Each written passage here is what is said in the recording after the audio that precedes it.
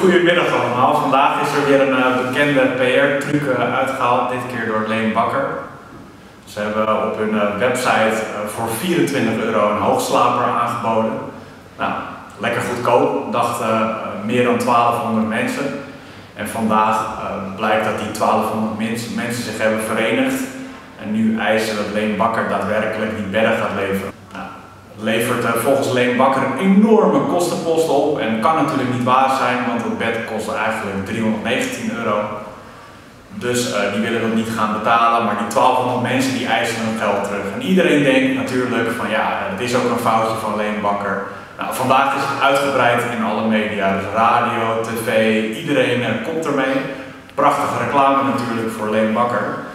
Um, ja, en dat eigenlijk voor een minimale kostenpost. Want nu uh, betalen ze bij wijze van spreken misschien wel of hebben ze een verlies van 150.000 euro. Maar eigenlijk als je dat vergelijkt met de mediakosten die ze maken voor een normale landelijke campagne, is het eigenlijk een koopje.